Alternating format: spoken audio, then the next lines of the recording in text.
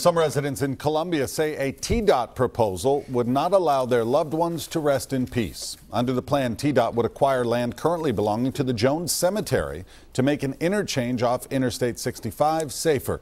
News Channel 5's Andrea Klein Thomas joins us from along the Bear Creek Pike there. How are people trying to fight this, Andrea? Well, Rhori, they started a petition. The whole argument is is that the cemetery has been around since the late 1800s. That's before the interstate.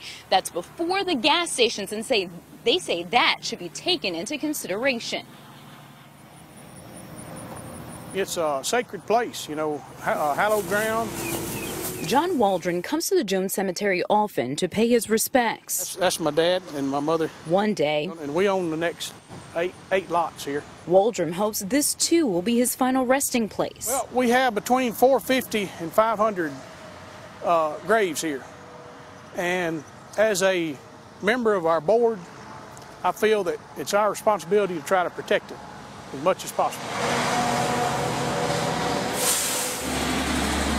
Protecting the property that dates back to the late 1800s is becoming more difficult as the area along Bear Creek Pike continues to grow. First with the interstate, then gas stations, and a truck stop. Everything's growing up, and we're tired of scooting over.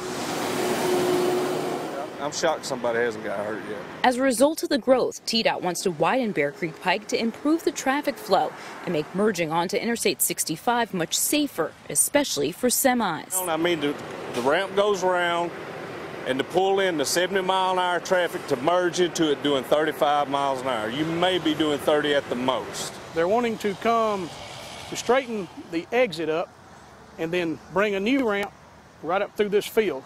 It's going to come within 15 feet of this grave right here. That's why Waldron is joining others to start a petition. It's disrespectful to start with. They already have 200 signatures asking TDOT to find another way to make improvements. We got seniority. we're here in the late 1800s.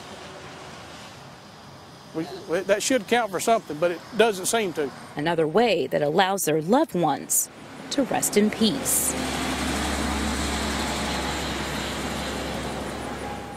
And TDOT is proposing this in the first place, again, for safety because there have, in fact, been accidents on Bear Creek Pike. In fact, Waldron has been in an accident along Bear Creek Pike, but still, him and other people that support the cemetery, that are trying to preserve the cemetery, say it should not even be a part of the plans. Reporting live in Columbia, I'm Andrea Klein Thomas, News Channel 5 HD.